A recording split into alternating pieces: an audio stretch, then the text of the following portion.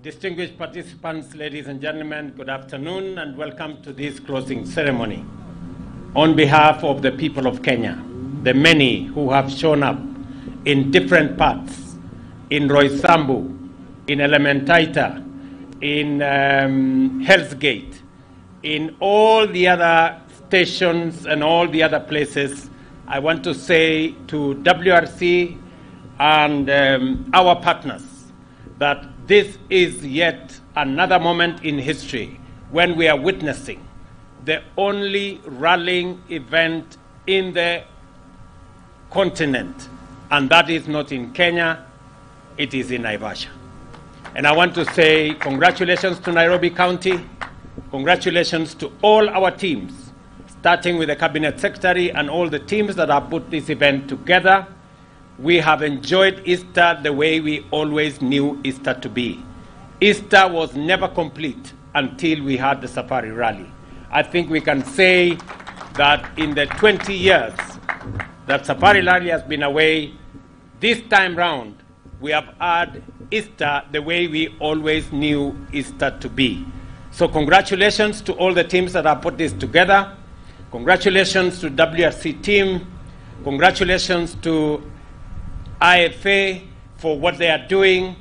And let me say to our friends, especially our neighbors from Uganda, from Tanzania, from across this continent, you have made this event a truly continental event in Naivasha and a truly world-class event.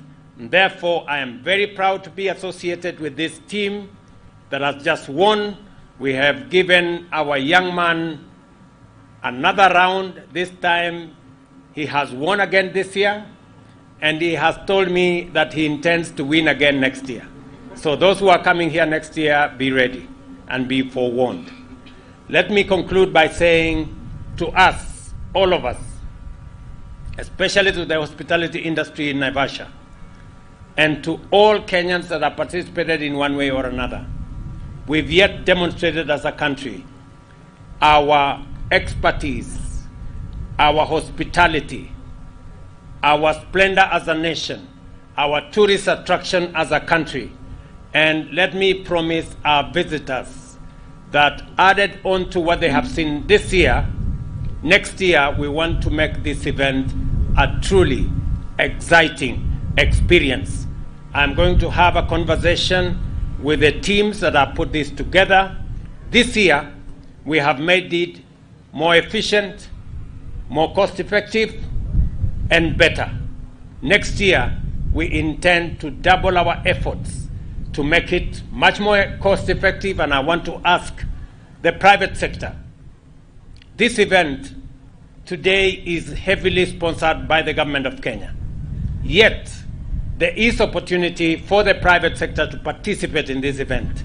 I want to ask our private sector. This event is watched by 170 countries around the globe. This event is watched by 85 million people in Africa, in Kenya, and elsewhere.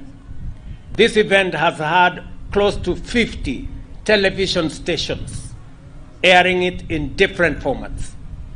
This is an event which every business person, every entrepreneur would want to sample. I want to invite the private sector to take over this event and manage it better, manage it well, and gain from it in a very positive way. We are willing to cede space as government. We will continue to backstop and to support this event.